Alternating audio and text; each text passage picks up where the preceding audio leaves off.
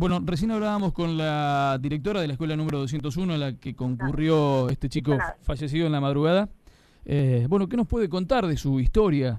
Hasta donde podemos saber. Eh, bueno, mira, en realidad escuché la última parte de la directora que, que decía y no sé hasta dónde contó vos dirás si es repetitivo o no. No, eh, perdón, brevemente, sí. que son chicos que aparentemente vinieron de afuera, estuvieron alojados en Mantelaló, concurrieron a la escuela y después algunas características que pudo observar ella en su carácter de autoridad educativa. Nada más que eso.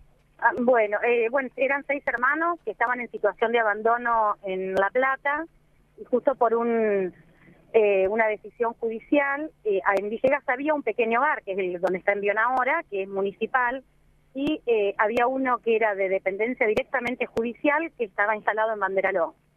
Así que los, estuvieron ahí ellos, crecieron ahí, eh, vinieron desde pequeño, el más grande tenía seis años.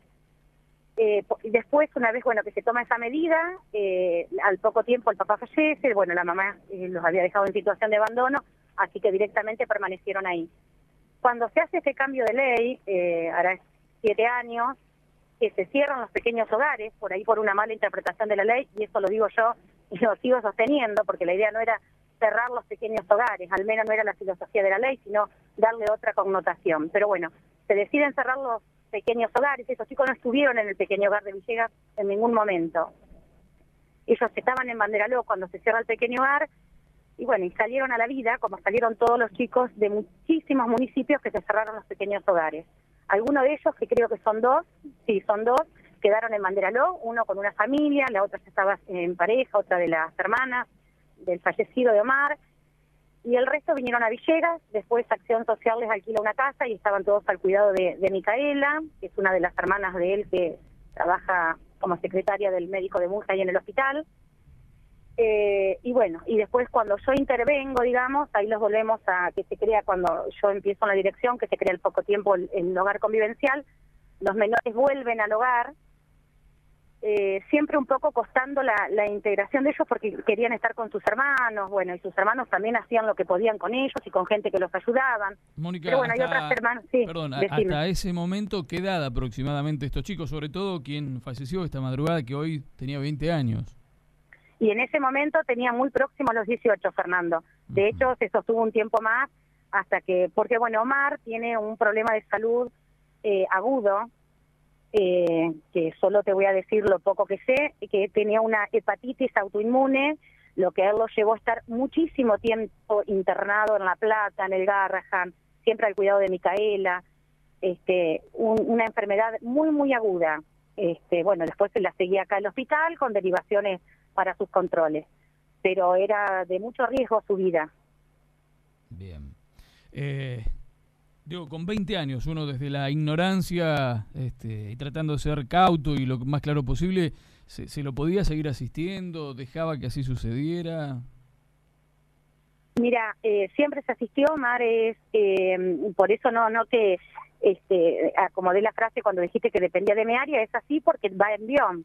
Eh, o sea, no depende por el servicio local, sino porque es... Sí. sí, no, Grisela Gali, la directora, una de las cosas que dijo, un papel fundamental en la contención de, de envión, ¿no? Y, parte del personal del lugar también. Sí, no, no escuché esa parte. Bueno, viste, por ahí son puntos de vista que realmente me parecen como muy riesgosos. Yo no diría jamás al aire si no tengo allá adelante lo que considero de, de, la, de las escuelas con determinados grupos de jóvenes, porque no me parece ético y no me parece sumar, menos en estos casos donde en todo caso tenemos que estar sumando porque hay otros somares en muchísimo riesgo que comparte la escuela, que comparte Envión, que comparte la municipalidad en todas sus áreas, en todas las otras instituciones. Me, permito disentir por una sencilla razón. Em, eh, sucedió, hoy estamos hablando de un joven fallecido, usted nos dice que hay muchos somares.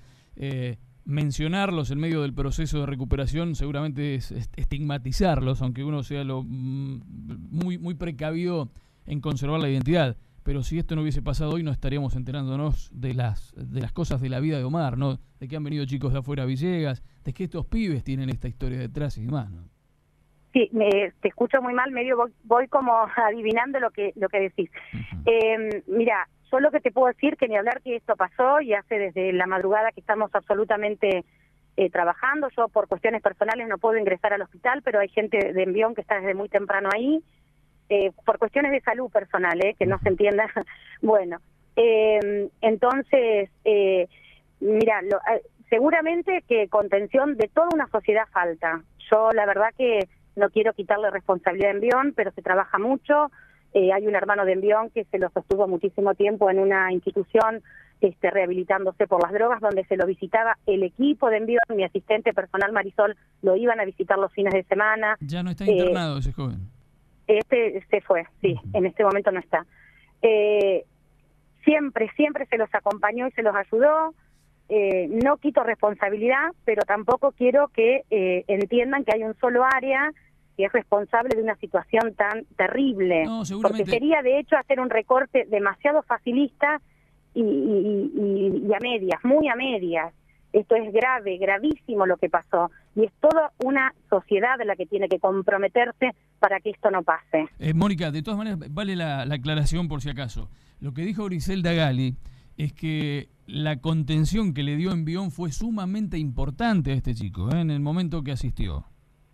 Ah, eh, perdón, te entendí al sí, revés. Por eso, por eso. Había no, no, sido, no. perdón, perdón. Y que, y que la eh, hablaba de la cocinera, que muchas veces lo, lo contuvo en su casa. Así que era fue... la que era su, su familia sustituta en su momento. Viste Bueno, que siempre comento que hay niños que están no, pero con. por eso fue Ah, todo lo perdón, contrario de lo eh, que, de lo que Estoy en la ruta, perdón, estoy en la ruta y escuché mal.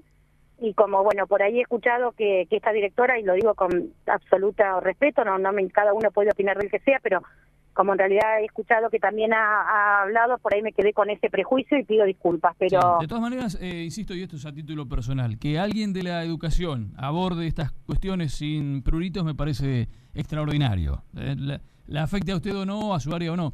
De todas maneras, eh, y, ya corre por nuestra cuenta y, y am- ampliamos, digo, ¿qué tarea que tiene el, el agente de- del gobierno que viene? no Esto, Esta cuestión social que queda al desnudo a partir de la muerte de un joven, que no es poca cosa, todo lo contrario, eh, invita a pensar y bastante, ¿no? indudablemente. Pero no tengo dudas, Fernando, y ojalá lo puedan hacer. Eh, yo conozco el compromiso que tuvo el gobierno, voy a hablar de mi área específica. Eh, no no es algo que nos correspondía hacer y no pudimos, eh, ni desde lo económico, ni desde porque no me aprobaban algún proyecto, pero voy a seguir diciendo, y me encantaría hablarlo de acá dos años con quien quede en el área, a ver cómo opina o qué pasó, qué no vi yo, eh, pero hay que convencerse que un área solo no puede y el municipio solo no puede. Acá hay todos los organismos, tenemos que ponernos, la provincia también, todos. Esto es eh, terrible. Eh, no podemos naturalizar o simplificar que el problema es de un área o de un municipio. Tiene altísima responsabilidad. Bueno, pero con todo- esto no se termina si no se, no se entrelazan un montón de factores que hoy están totalmente trabajando por separado. Sí, eh, hoy casualmente en horas de la mañana me iba a referir a un tema hablando de educación, ya yéndonos un poco por las ramas, un, un portal de Emilio Bebunge publica eh, una nota de una directora de una escuela rural que está en total estado de abandono después del cierre y demás, ¿no? Y un reclamo directo al área eh, competente donde dice, bueno, el, el consejo bien gracias, ¿no? Y bueno, es en todas las áreas donde tenemos que estar atentos, ¿no? Aquí Sí, y no, mira, yo soy muy honesta, yo conozco la escuela y esa directora puedo no tener comunión con un montón de otras ideas que tiene, o con su forma, o con lo que fuere, pero la verdad que lo que dice es real. O sea, este, tengo el campo de mis padres ahí cerca y, y sé de lo que está hablando. Eh, es real. La y bueno, es todo. la escuela 18, ¿no? Eh, pues está la escuela 18, a ver qué número, Sí, sí, creo creo, que que es la 18, 18 sí, el sí. número. Mira, nosotros conocemos, nosotros conocemos los eh, por los parajes, ¿viste? Por ahí los números me hago un poco de lío y no quiero meter la pata, pero bueno, eh, y es así como lo dice la directora, porque lo conozco y entiendo de que el consejo hará lo que puede también y verá lo que hace, por qué no hace. Y yo eh, lo que te digo también se lo voy a plantear a- al gobierno entrante, no tengo ningún problema en plantear eh, cómo se trabaja y que por favor, sí, lo, esto es como un objetivo que tengo, que después de un año o dos que haya otra persona, me encantaría sentarme a hablar, porque está bueno, a ver, ¿por qué yo no lo pude hacer de otra manera? ¿Dónde estaba el problema? Porque para mí eh, se trabaja muy bien, muy bien, con muchísima responsabilidad y formación, y trabajamos con justicia codo a codo, el tema de que por ahí no nos dan bolilla, Mónica, primo, eh, de, de todas maneras, perdón que le interrumpa, no nadie está objetando su trabajo, su área, todo lo contrario. Simplemente digo que eh, en este caso estamos hablando de un chico de 20 años, no es un nene, no es una criatura, un pibe que viene con una historia obviamente muy complicada y que termina de la peor manera en un confuso episodio, donde este, eh, en, en, medio de una presunta discusión recibe un puntazo este, mortal. No, no digo de que estés cuestionando a Fernando para nada, eh, tiene que ver conmigo, vos tenés que a mí me es liviano, este, un pibe que hace siete años que está con nosotros, ¿viste? No digo de que lo estén cuestionando, me autocritico, eh, claramente, no me voy a sacar el lazo encima. Todos sabíamos en la situación que Omar estaba viviendo.